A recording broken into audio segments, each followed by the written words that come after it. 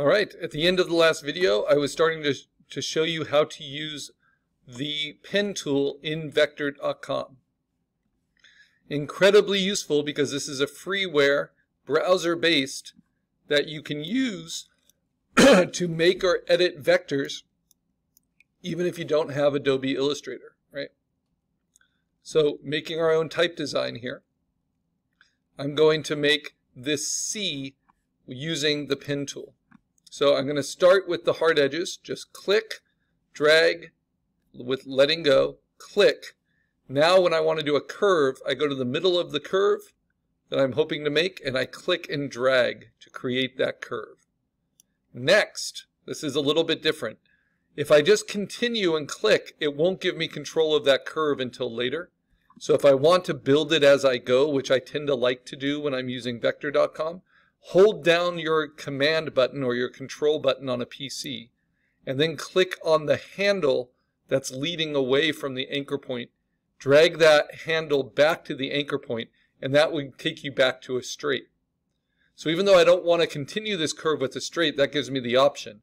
But now I go to the end of my curve and then I click and drag and I can finish that curve out. And if I don't have enough room, just use your space bar to give yourself a little bit more space. Click and drag. Right? Now, hold down Command, drag that handle back so I can go back to a straight. Let's do it right there. Oh, no, curve it back. All right. And then go to the center of my curve, drag out the curve, hold down Command. So my, I just have my finger hovering over Command. I'm just using the mouse. Go just before my final, because if I go to my final one right now, then that will be a straight I have to later change. So I'm going to go right before it, drag, or click and drag to get my resolving curve. And then I am going to hold down Command, go back to here, and now I use a straight to close the path. Now right now what you see is an empty path. It just has that little red indicator. I have to click it in order to see the properties. And I want to fill it with black, with the black color, and I want to turn off that, that stroke. Doesn't matter what colors they are, you want your color to be solid black, and you want no stroke. So you just turn that off. Okay, now, to modify it, because you can see how my curves are a little pointed, I just double click it, and then I can move that point around and I can also click on that anchor point and I can modify by holding down command each side of this curve until it really looks nice and even. Same thing here. Hold down command. I can modify that curve or I can double click it. Whoops. You can always do command Z double click it, nope, and that will change it from a curve to a straight. What I want to do is drag out the other side. So if I hold down shift, I thought I could get the other angle, but double click, click on the anchor point, I can play with this. Ah, as soon as I start to play with it, if I'm not holding down command, it will even out the handle on both sides which is actually better because then it allows me to use command and modify it. So for type design, you want perfectly rational shapes, even if you're going for kind of a funky modern type like I'm doing. You want to be able to play with them, sometimes from multiple sides, like this, to get the shape you want. And now how do I resolve this issue? Well, I just drag this anchor point to this one, and it will snap on top. Perfectly clean. Or I can resolve it a slightly different way, and I think I will, by doing a bit of a curve here. Drop this back using that cornering tool. Yeah, I actually don't like how that looks. I, I don't mind that. So that's a C. Trying to give myself the best option. I'm actually just going to keep it all straight. because I've got a plenty, plenty of curve in the body of it. All right, so that's a C. Now let me try it with a K. And of course, I can just click it once and get this transform box for it. And I can stretch it, and I can tilt it, and I can play with the space between the letters, and that's kerning. So a big part of this project is not to use the type tool just automatically. Because the type tool will give you vector shapes, but they won't give you full control of, of the space between, of the, the proportions, the shapes. So let's play with the, the text tool, the type tool within vectr.com. So I can type something in, just like a word processor, right? So I'm going to do capital N, lowercase i, capital C. Or let's try a K in this case. Do a lowercase k. Now, I can select all of that, and I'll have in the properties here the different typefaces. And I am limited to these typefaces unless I am able to add one, right? So for this project, we're going, you're allowed to use the type tool, but you're going to have to modify it somewhat. So what's nice is they show you what the typefaces look like. You can try them out. I can make it a lot bigger. These are called point sizes. Probably familiar with that from word processors. So let's try something like 400. Just big enough so I can really see it clearly. So that's an interesting K. I'm actually going to use this just to make my K. Nope, not that one. And sometimes there's some really cool ones in there that make nice vectors, but this doesn't always speed up your process. That's a good one for like kind of bubble letters. I want what are called modern a modern font design, which doesn't have any serifs or embellishments, and then I can always add my own.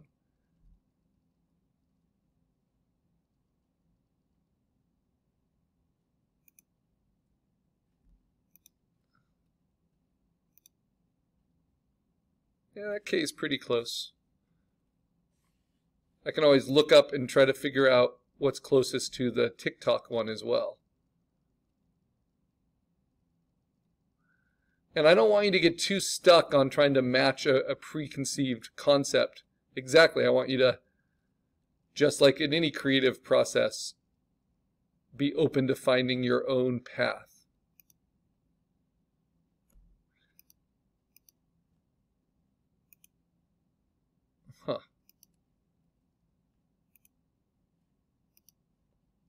Yeah, so a lot of them are close to what I want. Nothing as thick.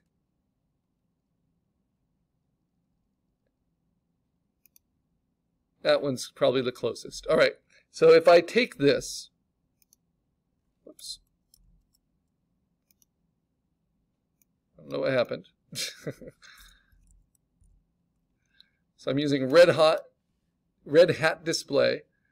Now, that is what's called a typeface. This is what's called a font. Fonts are modifications to typefaces that are built in. So bold is a modification of a typeface. What's great about using the type tool is I can just use the, the word processing aspect to it. And I don't know why it keeps disappearing. Oh, and now I know why. Or I thought I did. Let's see.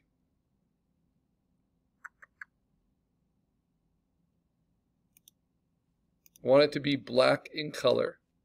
Make sure it has enough space. I just want a lowercase k.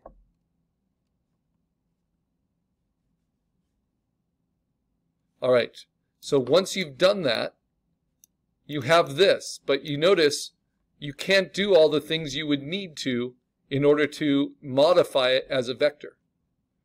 In order to do that, and this is true in Illustrator as well, we need to do what's called outline the type. So I can flip it.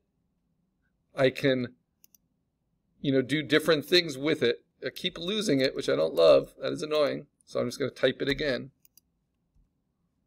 All right.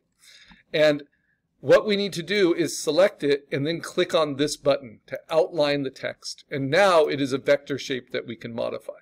So you are allowed to use type tools. You are allowed to use this text tool. You are allowed to use typefaces and font modifications and get close to what you want. But then you need to outline the text and then modify. So how am I going to do that? Well, with one click, I get to transform it, make it bigger, right? Let's not delete the T, but let's turn off the T, lock it, and turn it off. And now, by double clicking, I get to modify these vectors. And well done type design is going to allow you to see those vector shapes very clearly, those anchor points very clearly. To make it look a little bit more like the TikTok K, I'm going to add an anchor point here, and then I'm going to drag this anchor point down.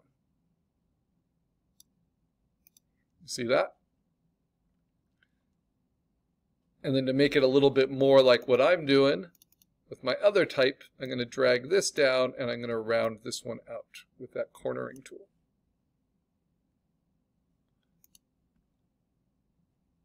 But I don't like that. I'm going to do Command Z and then maybe instead I just do that here.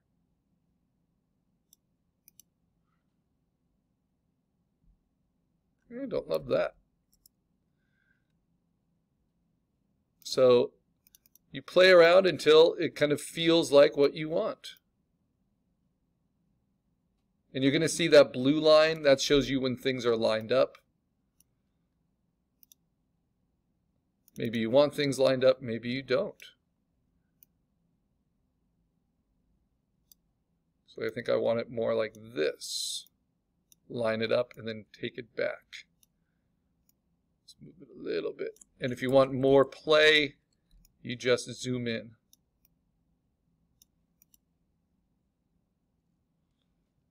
All right, and then here, instead of rounding it out, I'm going to do a new anchor point. I'm going to drag that out. Then I'm going to round that.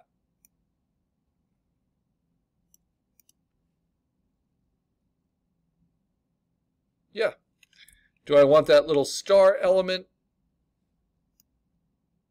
Maybe so. Maybe I want to arrange all of these. I don't have them locked so I can move them. Play with the kerning, the spacing between. You see how this is a mirror image? Wider there, wider here, narrower here, narrower there. That's kind of good type spacing. And I want this to be pretty dynamic. So now I want to maybe push this lower and back while still keeping that strong angle.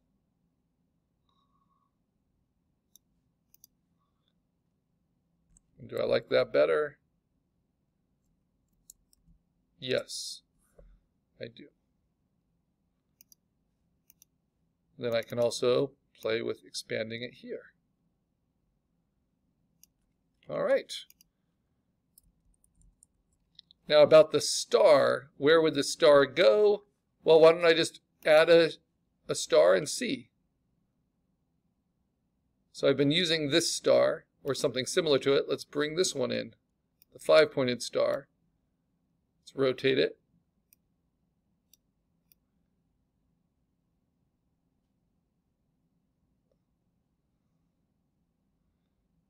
It's safe to play with this because it's all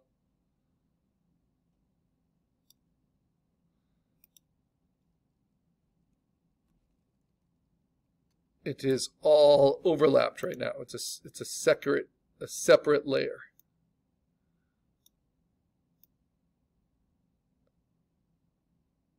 There we go. Right now if I want to merge those two together, I hold down Shift, I select them both, and then it gives me the Pathfinder options to merge them together. I'm going to close in the kerning a little bit, keep it nice and tight. Very nice. All right. So I am nearly done what I can do is click and hold down shift on all of them. And then if I want,